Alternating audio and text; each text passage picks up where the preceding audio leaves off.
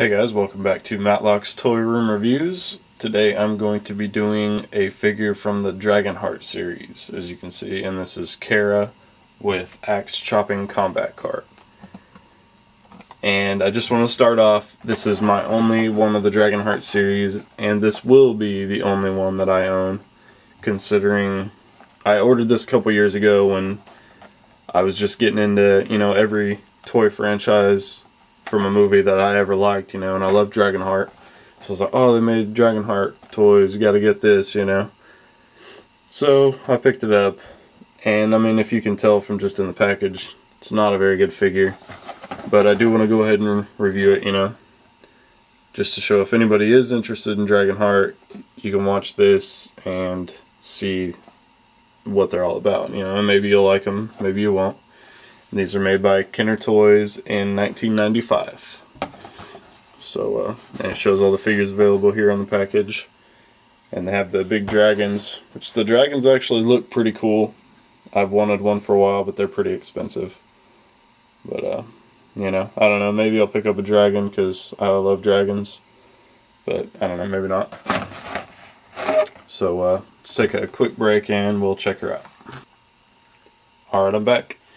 And with no surprise, this figure is stupid. um, you know, just the first off articulation, you, you get the head movement and some shoulder movement and actually waist movement, but then the legs are all stationary. And you know, this figure is probably it's about three and three fourths inch but with none of the good articulation and it's hard to stand.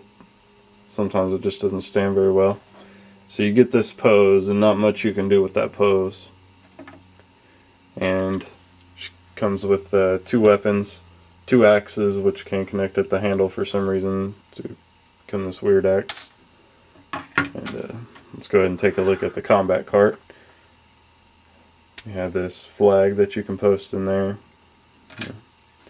and then uh, this is supposed to have doesn't work as you can see the axe isn't moving but uh, you move this and then it lifts the axe up to make a chopping action. But uh, it doesn't work. And uh, you can store the other axe up here or you can put it here and you're supposed to you bend it back and it flings out so it'll launch it. So I mean overall stupid I mean, I don't know, maybe this will make an okay, okay display piece, but just